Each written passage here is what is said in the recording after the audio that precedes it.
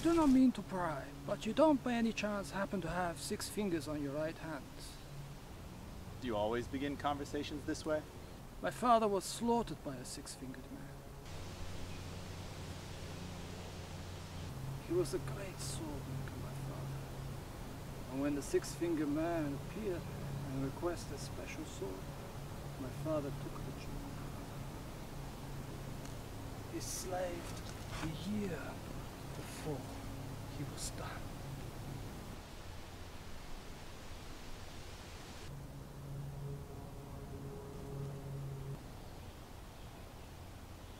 I've never seen its equal. The six-fingered man returned and demanded it for that one-tenth of his promised price. My father refused.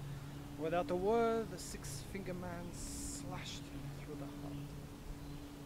I loved my father. So naturally, I challenged his murderer to a duel. I failed. But the six-fingered man gave me love. But he gave me this. How old were you? I was 11 years old. When I was strong enough, I dedicated my life to a study of fencing. So the next time we meet, I will not fail.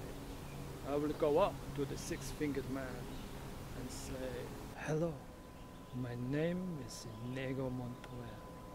You killed my father. Prepare to die. You've done nothing but study swordplay? More a pursuit than a study lately.